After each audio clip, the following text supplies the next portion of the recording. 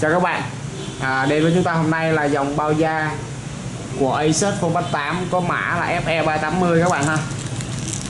À, đây cái mã là FE380 các bạn. 8 inch các bạn ha. À, dòng bao da này thì bao gồm là 5 màu. Là đen nâu đỏ hồng xanh. Xanh nước biển các bạn ha. Ngoài ra thì cũng còn màu xanh lá và xanh đen nữa nhưng uh, do lượng hàng quá ít nên bị sai chỉ có 5 màu các bạn. À, và đây là sau đây là phần chi tiết và ha. Là mình sử dụng một cái màu hồng đi các bạn ha. Màu hồng để mình giới thiệu với các bạn. Ừ, về chi tiết. Toàn bộ chiếc bao da này á, thì được làm bằng BU cao cấp các bạn ha. Đây là mặt trước và mặt sau.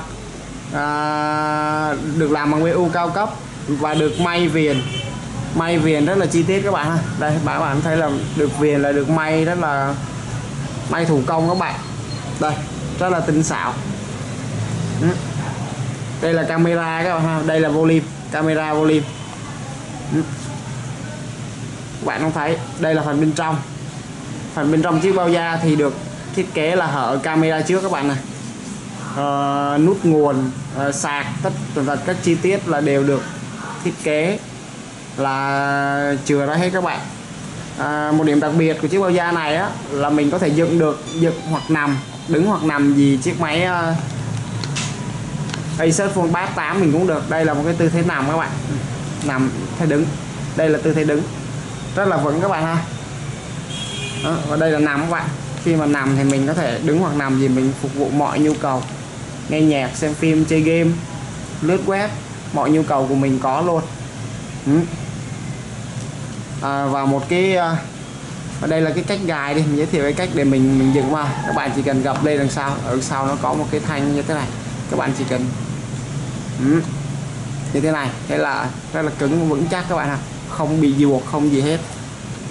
Ừ. và đây là một cái thiết kế rất là là là, là đặc biệt của chiếc bao da này á, là khi mình đóng cái nắp lại thì tự động sẽ có 500 hút lại bạn ha. Đây các bạn thấy để tránh cái tình trạng là bật cái màn hình ra. Bạn thấy à, và đây có một cái thiết kế nhỏ này.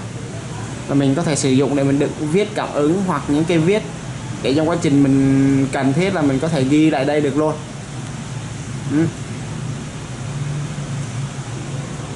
rồi đây là màu hồng. Xong các bạn ha. Mình uh, xin giới thiệu thêm màu xanh uh, nước biển đấy các bạn ha. Đây là xanh nước biển.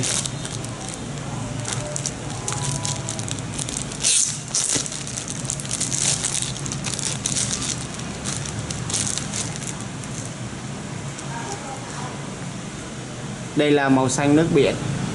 Màu mặt trước, mặt sau, bên trong. Y hệt như cái màu hồng các bạn ha, cắt gài. Đứng. Rất là tuyệt vời đúng không các bạn? Và mình xin nhắc lại à, giới thiệu lại với các bạn, đây là dòng bao da của Asus Phone 8 có mã là FE380 à, các bạn một sự lựa chọn hoàn hảo các bạn đến cho dành cho bạn. Cảm ơn các bạn đã theo dõi clip. Chúc các bạn một ngày vui vẻ.